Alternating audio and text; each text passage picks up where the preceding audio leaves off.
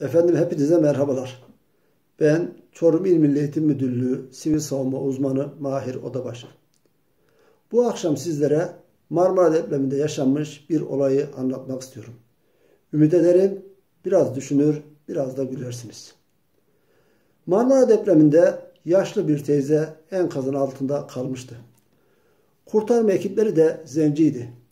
Malumunuz o dönemde dünyanın 110 ülkesinden ekipler gelmişti. Zenci ekip teyzeyi kurtarmak için canla başla çalışır. Ama teyze bir türlü kendine yaklaştırmaz.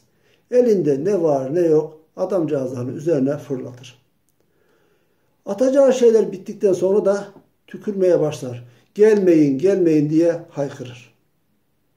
Zenci ekip başı herhalde bayan halinden çok memnun ki çıkmak istemiyor diye düşünür. Ve doğru Türk ekibine gider. Türk ekibine enkazın altında yaşlı bir bayan var. Bizi yanına yaklaştırmıyor, çıkaramıyoruz. Bir de siz bakın diye söyler. Türk ekibindeki görevli koşar adım gelir. Bakar ki teyzenin aklı başında gözüküyor. Teyze ver elini der, çeker alır. Teyze der, Afrika'nın çöllerinden bu adamcağızlar seni kurtarmak için gelmiş. Canla başla çalışıyor. Niye eziyet ettin bunları der. Teyze de ah yavrum çektiğimi bir bilseydiniz ben kendimi ölmüş zannettim. Cehennemde zannettim. Bunlar da zebani zannettim. Onlardan kurtulmak için uğraşıyordum.